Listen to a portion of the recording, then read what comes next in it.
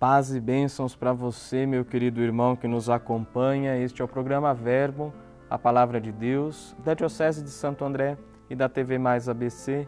Hoje, quarta-feira, dia 22 de janeiro, nós estamos na segunda semana do Tempo Comum. Eu sou o Padre Guilherme, da Paróquia São Jorge, que fica na cidade de São Jorge, em Santo André, e nós somos convidados a acolhermos esta palavra que o Senhor hoje nos dirige. Evangelho segundo Marcos, capítulo 3, versículos de 1 a 6.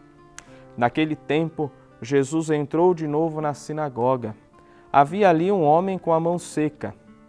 Alguns observavam para ver se haveria de curar em dia de sábado para poderem acusá-lo. Jesus disse ao homem da mão seca: Levanta-te e fica aqui no meio. Perguntou-lhes: é permitido no sábado fazer o bem ou fazer o mal? Salvar uma vida ou deixá-la morrer? Mas eles nada disseram.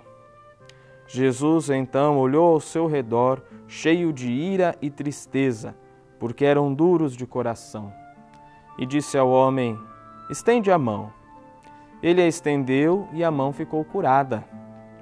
Ao saírem, os fariseus, com os partidários de Herodes, imediatamente tramaram contra Jesus a maneira como haveriam de matá-lo. Esta é para nós palavra da salvação. Hoje nós contemplamos Jesus inflamado aí pelos sentimentos da ira e da tristeza. Qual o motivo da tristeza de Jesus? A dureza dos corações das pessoas de seu tempo Vale lembrar que muitas vezes em que a Bíblia fala de coração, ela está falando, na verdade, da mente. Então, muitas vezes, no tempo de Jesus e também hoje no nosso tempo, nós podemos cair na tentação de sermos cristãos de cabeça dura, de coração endurecido, sem deixar nos transformar, interpelar, questionar pelos atos, pelas palavras de Jesus. É sempre tempo de fazer o bem é sempre tempo de colocarmos em prática os valores do reino dos céus que todos nós somos convidados a construir. Que não tenhamos medo, que não deixemos para amanhã e que não critiquemos também aqueles que se dedicam grandemente ao serviço de Jesus.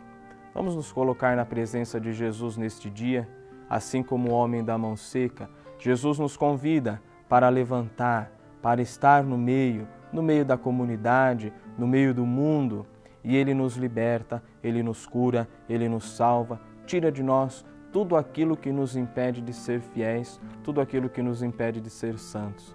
Vamos então nos lançar nos braços de Jesus e viver com alegria a nossa missão. Sobre você, sobre toda a sua família, desça e permaneça para sempre a bênção de Deus Todo-Poderoso, Pai e Filho e Espírito Santo. Amém.